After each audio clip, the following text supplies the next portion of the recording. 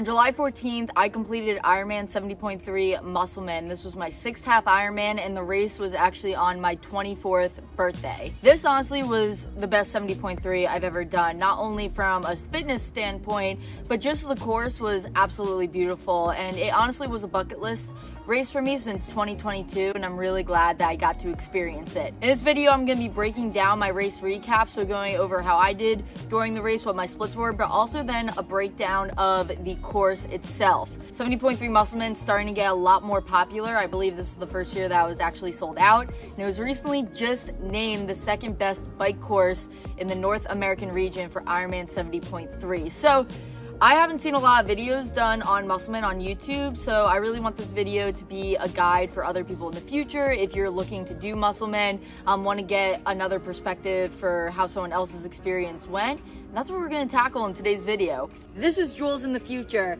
I forgot to mention that I did do a race weekend and race day video. So if you want to check that out before watching this, you kind of get a lot more visuals of what the days leading into the race looked like and what the actual race day itself looked like. So I highly suggest watching that video and then coming back to this one. I have my notes here because I just didn't want to miss anything. And I've gone over the past couple of days since the race, writing down just everything that I can remember. 70.3 Musselman is located in upstate New York in a little town called Geneva. This was honestly the best spectator course I have ever been to. The downtown of Geneva was right across the street from the Ironman Village. So it was really nice because especially while we were out on the bike, spectators could didn't even have to get in their cars. They could literally just walk to the downtown, plenty of coffee shops, plenty of spots for food, and then even spectating throughout the course, like at the swim, you could see your athletes start the swim. You could even see your athlete like 300 meters into it, and then also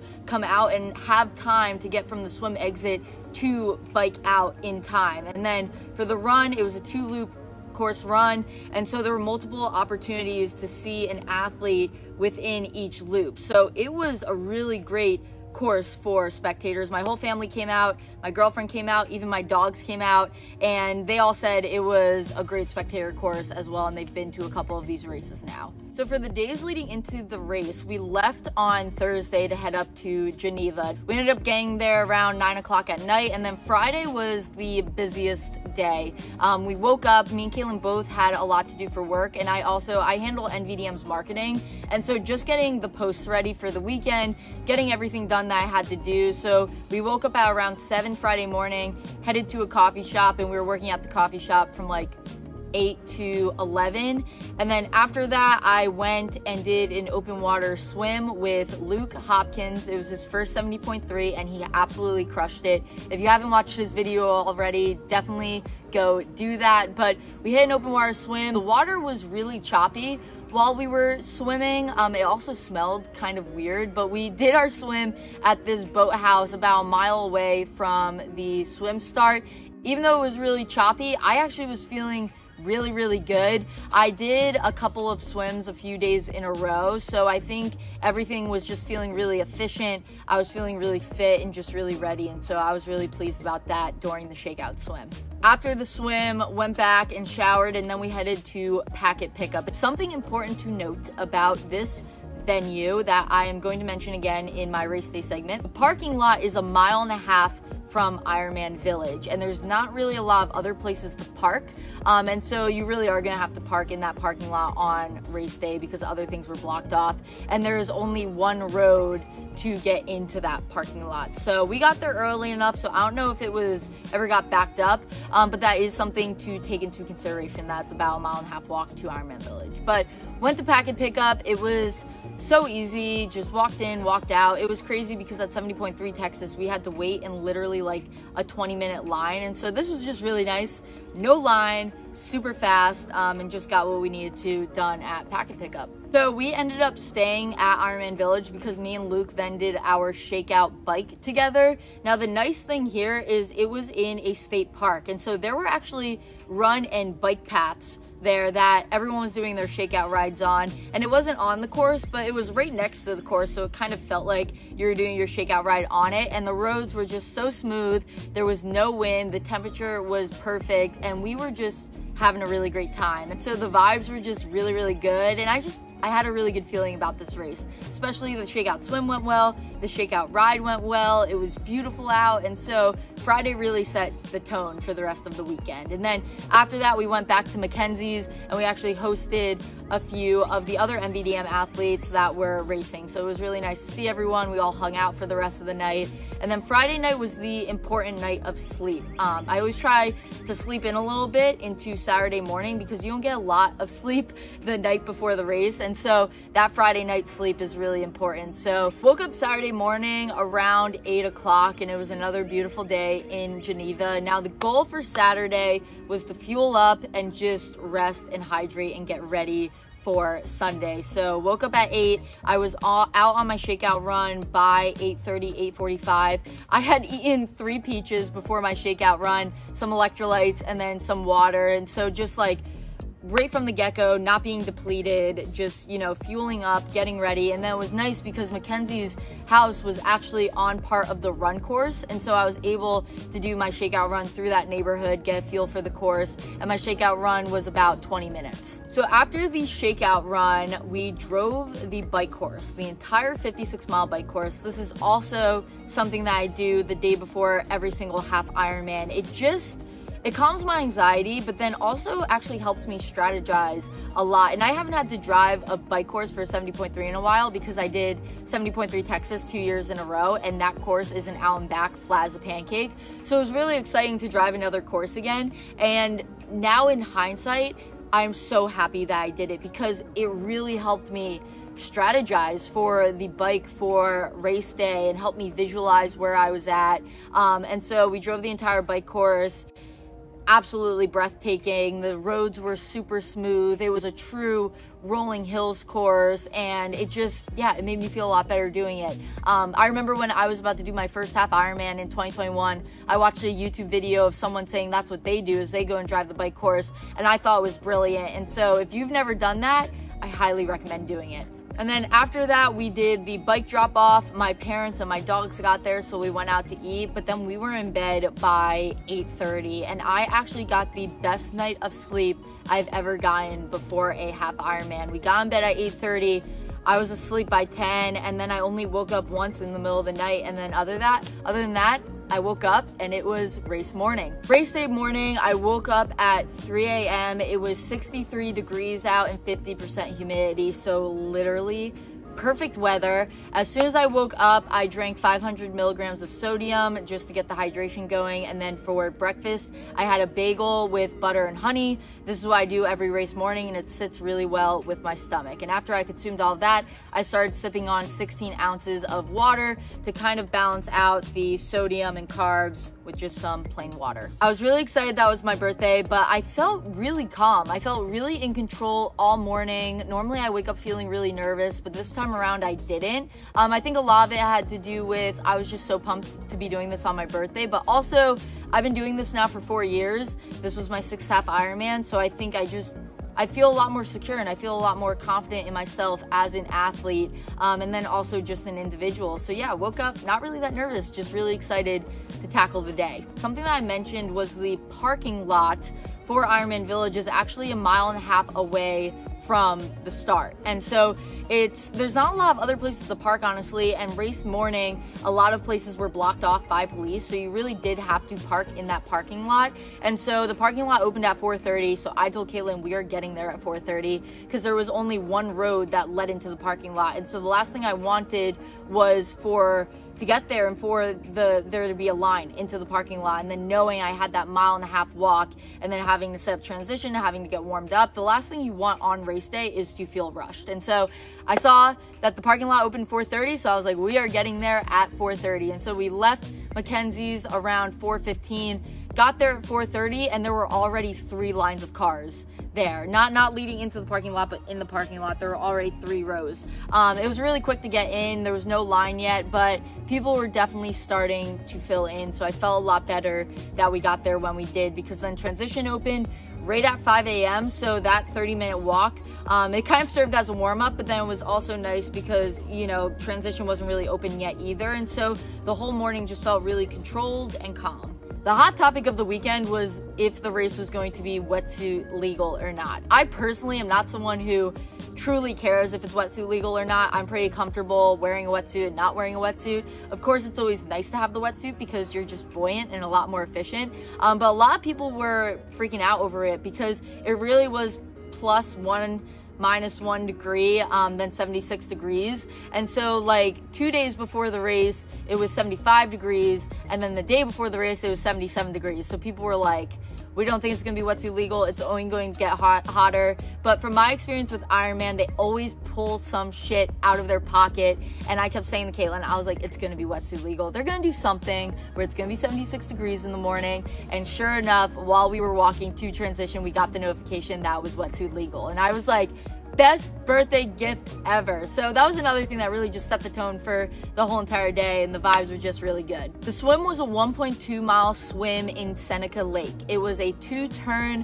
one loop swim. And now my strategy for the swim was a little different than it's been in previous races. Some just like background information on what was going on. I did not get to do a lot of swimming in this block.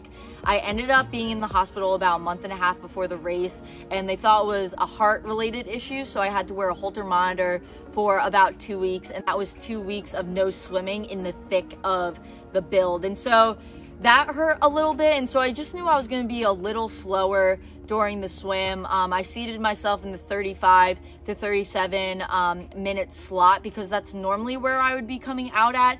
But my strategy for the swim, like I said, was a little different. Instead of going out at 70.3 effort, I decided to hold back a little bit and just focus on swimming strong, smooth, and straight because I knew that if I could just be efficient, I would still have a really good swim. So with that being said, even though I placed myself in my normal group 35 to 37 minutes, I was expecting to come out 39 to 40 minutes. Again, my whole entire thing was to keep this day super lighthearted. It was my birthday. This race was just for fun, so I was I was just having a lot of fun race morning. And I think that really helped me because it's the first time ever for the swim where I hit the water and I didn't have a lot of anxiety. Like normally you hit the water in these races and it's kind of like, oh shit, I'm about to be here for a while. We're doing this thing, but I hit the water and I was as cool as a cucumber. My first thought was like, let's just get out to that first buoy because that, that first 100 meters is like people who are either a lot faster or a lot slower. So you're all just trying to kind of gain your ground. And so I was just like, let's just stay smooth. Let's get to that first buoy. And so the first 500 meters of the swim was into the sun. From what I heard from other athletes who have done this race in the past, it sounds like they flipped the swim. So you used to swim clockwise and now the course was counterclockwise. So the sun was only in your face for the first like 500 meters, which was really nice, but you could still sight the buoys. It wasn't like blinding at all because it was also covered by some trees. So really the, the sun being in your face wasn't that much of an issue. And like I said, it was over pretty soon. Once I hit the first left turn, that 500 meter stretch, I feel like I saw no one. I there I, I did not see people swimming past me. My feet weren't getting touched. I wasn't getting kicked. It literally was a straight 500 meters of just open water, which was really, really nice because I was really able to lock in and get in a good flow. And then also the water was really calm. Um, it wasn't super choppy. The only wake that there was in the water was from the other swimmers themselves. And so this stretch was really, really smooth, really, really calm, and I got into a really good flow hung that last left and that's when things started getting a little chaotic again people are starting to speed up um, you know you're starting to get back into ironman village and so I ended up having a pretty rough last 400 meters. There were these two guys swimming in front of me who both could not swim straight. And so they kept colliding into each other and they were just a little faster than me. So I couldn't get around them but I was almost a little too fast to be like too far behind. And obviously I didn't want to slow down. I wanted to keep doing my thing, but they just kept crashing into each other and causing a wake. And so I swallowed a lot of water within these last 400 meters, but thankfully the, the swim was almost over. So I was just telling myself, let's just get to the finish. Um, you know, the last 200 meters is when I really started picking up the pace.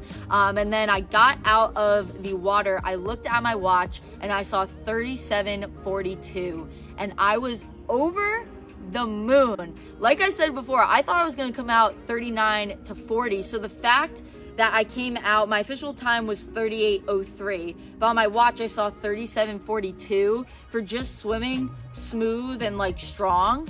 Oh my gosh, I was so happy. My swim split ended up being eighth out of 22 in my age group. And when I looked at my Coros on the map, it looked like I swam straight, but then also it said I swam 2160 yards, which is a little over 1900 meters, which is 1.2 miles of swimming basically. So I swam straight and I was so excited about that because at 70.3 Texas in April, I swam 2,500 yards, which is a lot more than you should be swimming. So very happy about that. So I think the mix of really surprising myself at how much faster I was than I thought I was going to be, plus I did not expend a lot of energy during the swim, really set up the not only tone for the rest of the race, but just like physically how I was feeling. So we're out of the swim. I saw my dad, I saw my mom, I saw Caitlin out of the swim, and it was into transition and time to head out on the bike. So based off of driving the bike course, I expected myself to be right around three hours. So just a little less, a little more. And so with that, I packed 275 grams of carbs for the bike and 3,000 milligrams of sodium. And so that came out to about 90 grams of carbs per hour. I'm so happy that I drove the bike course because genuinely this felt like the first time I was really able to have a strong strategy for the bike. And if I did not drive this bike course, I don't think I would have done as well as I did. So the first 10 miles of this bike course are a net incline. And so, but it doesn't really feel like it because there are some rollers and the roads are really smooth. But just knowing that that first 10 miles, you are primarily hitting some false flats and a little bit of climbs. I averaged 18 and a half miles per hour for these first 10 miles and it was really cool because we actually got to see some Amish and they were all on their horse and buggies and they were waving to us and cheering for us and it was really cool. But I just knew that this first 10 miles, they were just a net uphill and so it was only going to get faster for this next part. Miles 10 to 20 were fast as shit. You were in upstate New York countryside, the roads were beautiful, and it was actually a net downhill. Um, I felt like it was more flat, but when you look at the graph, we more we were primarily going downhill, and I averaged 21 miles per hour for this stretch. My top speed in this stretch of 10 miles was 34 miles per hour, and we were absolutely cruising. So now miles 20 through 28 were primarily flat, and you actually went out to one of the other Finger Lakes, and it was so beautiful. And it was so amazing because there were so many lake houses and so many people actually outside of their lake houses cheering us on. And so normally you don't get a lot of spectators on the bike but for this one there were spectators almost at every single stretch. And it was really nice because one of my best friends her mom's friend lives up there and they actually put out signs in front of their house for me for um, my, my 24th birthday, which was really, really sweet. But this stretch was just really nice. It felt like I was on autopilot the entire time because it was just on this highway, super smooth roads and really flat. But I knew what was about to come. The mile 28 hill.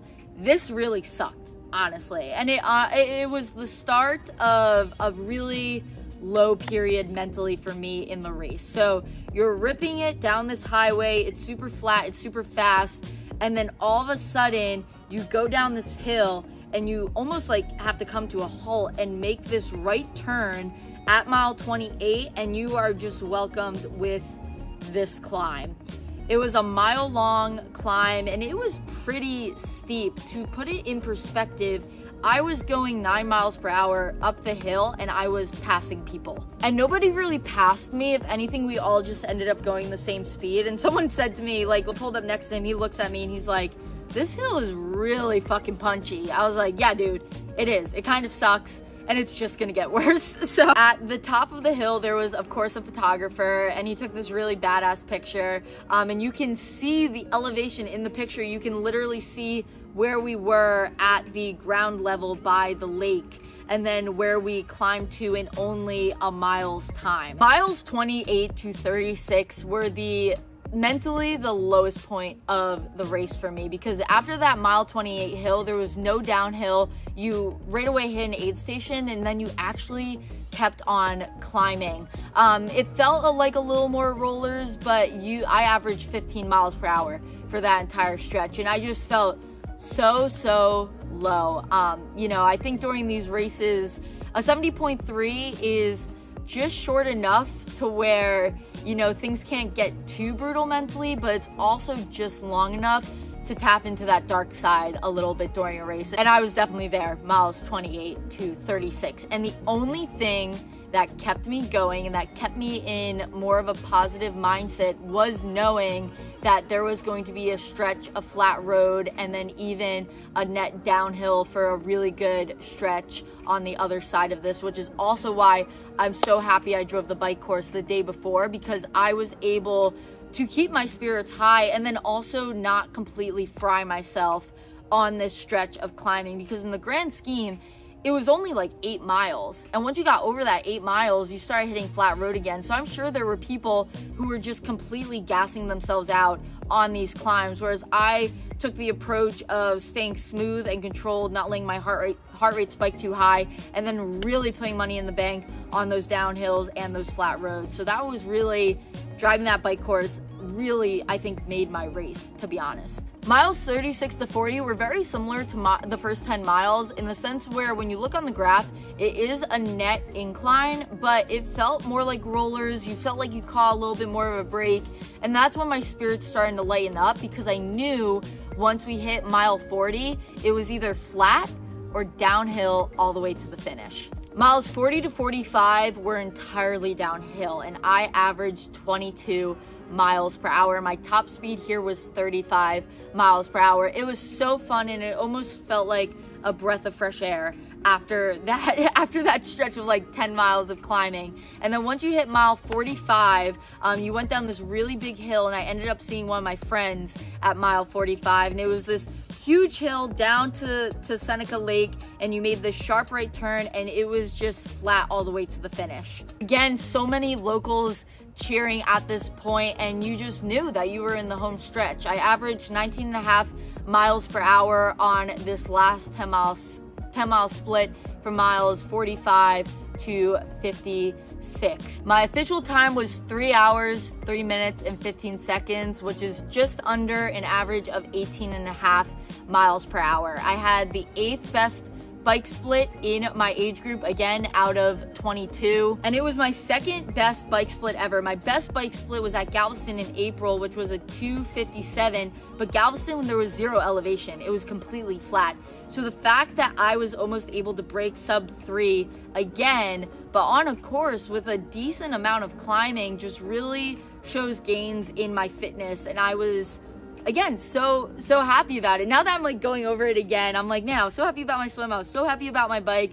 It just really was a great day. And then the bike was the most beautiful and scenic 70.3 ride I have ever done. It truly is one of the best bike courses in in the North American region that I've done at least. Um, and so I think it was it was nominated that and and awarded that for a reason. So this bike course definitely made the whole entire race as well. It was absolutely beautiful. So now the run, like I mentioned earlier in the video, this was really the discipline where I had a goal and that goal was sub 10:30 pace on the run. The thing about the run for me is it's never necessarily fitness, but it's also more I psych myself out, especially in the first 5K of the run. The first 5K of the run for anyone is until the finish, probably like one of the toughest stretches because you know you're just getting off the bike, your legs are kind of feeling weird, and you're also really excited, adrenaline's going, so your heart rate's gonna spike. And for me, that's where I get really overwhelmed. And so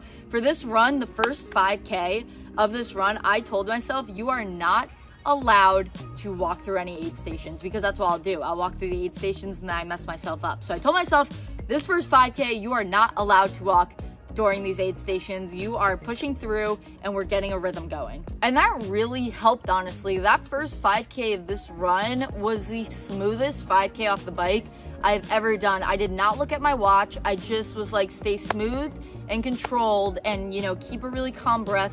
And my average pace for that first 5K was an 858 which I was really, really happy about. Now, this run course was a two loop course. The first half of each loop was completely flat, and then the back half, the second half of the loop was rolling hills, and there were two really punchy hills. So once you hit mile three, there was a ramp in the highway, and it was a quarter of a mile long that you actually had to go up. And so you went up this two times. It was at mile three, and it was at mile nine and a half. Miles three through six were rolling hills through a neighborhood. Um, and like I said, it was a two loop course. So you were constantly seeing people, which was really nice. There were a good amount of spectators in the neighborhood, but it was definitely challenging. It was not easy rollers by any means because the hills were pretty decent hills. Um, but after that, you either had flat road or you had a descent. At mile five and a half, you went back down that ramp, which was really, really nice. And heading into that second loop, mentally I just felt really clear because I knew what to expect and again I was able to strategize a little bit and so it really was those next three miles just locking in pace locking in effort and then when I got to the back half which was miles nine and a half to the finish it was really just about holding pace and staying strong.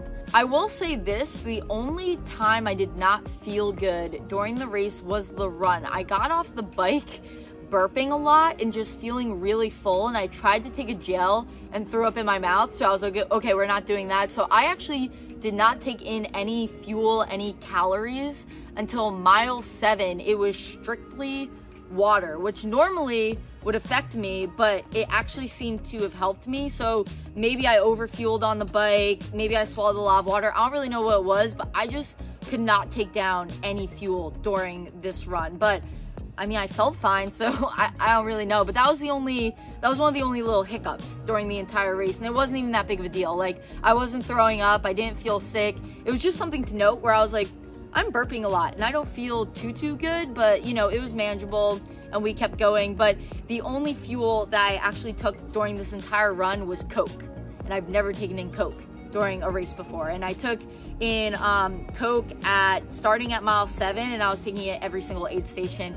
And that was the only fuel I actually had during the entire 13 mile run, which I normally don't recommend, but that's what felt right in the moment for me. So with that, I also want to make a point, and it got very hot that day. The heat index ended up being 101 degrees, and the humidity ended up getting to 80%. So that run course, you were you were hot, you were cooking, and it was for the first time ever, my arms started getting really dry during the run. So every single aid station, I was literally dumping water on my arms, I was dumping water on my head, and just the cold water on my arms and my head felt really good. The entire time though, and you can look at my splits on the Ironman tracker, I was so consistent, and I felt awesome during this run. This was the first 70.3 run where I felt really strong throughout the entire thing.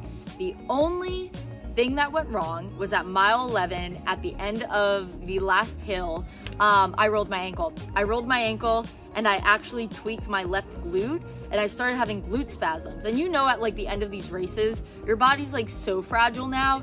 And so I was experiencing a lot of glute spasms. So I did miles 11 and 12, had to do a little more walking because every time I ran, it was really sharp pain. And so just that last split was an 11.55. But other than that, super, super smooth, super, super strong, and right on pace. Now for the really fun part. I missed my 70.3 PR by a little under 90 seconds. Um, coming, I, I, just based off of my times, I didn't do a lot of the math during it because again, the goal was not to PR this race. It was just for fun. When I hit mile 11, I kind of started to realize I was getting into that PR zone, which is why I was also a little bummed when I rolled my ankle. Um, but I felt it, I knew it. And then a half a mile from the finish, Caitlin found me and she looked at me and just yelled at me. She was like, book it, you better book it. And I knew what that meant. I knew I was close to my PR. And she just like followed me the entire way to the finish, just screaming at me. And I gave that last half a mile everything I had. I made that left into the finish and I just I what felt like booked it. I, I tried so hard and I even in that finish line I thought I was gonna throw up. I started seeing like those weird stars.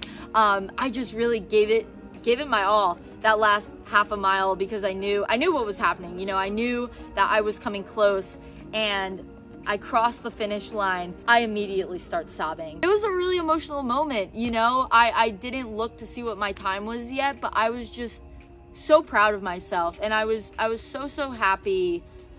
I did a half Ironman on my birthday. Like how fucking cool is that? Um I immediately started like having tears down my face and I turn around and I look at the timer and I see the finishing time and I see that it is about 85 seconds from my 70.3 PR ever. And I just start fucking sobbing. But it wasn't, it wasn't tears of sadness. It was, it was, I think it was tears of just being proud of myself for the effort on the day and for, you know, I, it also like racing on your birthday was a little intimidating because I wanted to do well. You know, I didn't want to do bad and then, you know, have like have that wreck my birthday. I wanted to do well. And so I think it was a overwhelming sense of emotion of just like being so proud of myself, being so overwhelmed that I literally almost just PR'd and my whole entire family was there. It was my birthday and I saw Caitlin and I just gave her a really big hug and both of us started crying. She started crying too. And it was just this really beautiful moment um, that I'm gonna cherish forever. And that was the race. It's officially dark out, but this light is like helping. I'm checking the, the footage and it looks pretty good. So, um, this was my favorite half Ironman I've ever done. Um, not only because everything honestly went perfect, but just the the venue was phenomenal. It was amazing. The swim was amazing. The bike course was absolutely stunning, and the run was really great. Like that two loops, it, one loop being like six and a half miles, it was perfect because you were with people all the time, spectators all the time. It was super entertaining. You got a mixture of, you know, good flat stretches and then also some challenging hills, some downhills. It was overall a well-rounded course, which I love and I think is really fun. I hate the courses that are super boring. So highly recommend doing Musselman if you can. I really think it's going to get really popular in the upcoming years. So, you know, if you made it to the end of this video, I hope all this information was helpful. You can drop a comment down below. Um, I posted a race recap of when I did 70.3 Augusta two years ago, and I still get comments on it to this day of questions and all of that. So no matter when you're watching this, you know, if you have any questions about the course, please feel free to leave it in the comments down below. But I, I, I think this is a great course. It's a great course for beginners. It's a great course for experienced athletes who want to push themselves a little bit and also just a really great course to do on your 24th birthday bash. I really hope you all enjoyed this video. If you did, make sure to like and also subscribe because I'm going into the Chicago Marathon prep and I'm planning on doing an entire YouTube series leading into the race in October. And other than that, I'll catch you guys in the next video. I appreciate all of the support and the birthday love from the race. I'll see you guys soon.